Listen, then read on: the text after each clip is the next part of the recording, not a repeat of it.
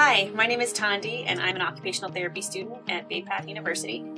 I chose to enroll in the Bridge program primarily because it's super flexible, so I could continue to do my coursework um, online from home while starting a family with my husband and while continuing to work and support my family.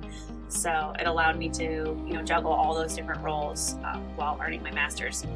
Uh, the second reason, though, is that it um, gave me credit for my PTA license. So instead of me having to start over, you know, from scratch with my undergrad, it allowed me to just continue the process and build on the foundation that I'd already created um, through my PTA license and schooling and from work, working for two years as a PTA. The program was very challenging, but also super rewarding.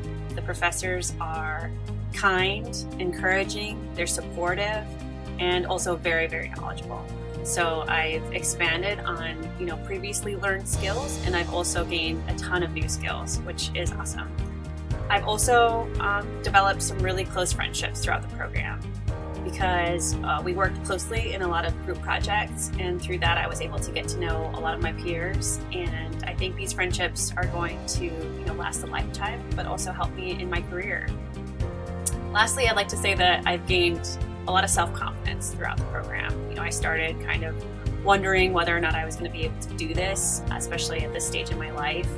And I had to push myself, and um, here I am. And I know that it's not going to be easy to pass the board exam, or, you know, I'm going to experience challenges as an occupational therapist. But um, with hard work and with a positive attitude, uh, you know, I can get through anything. And so can you.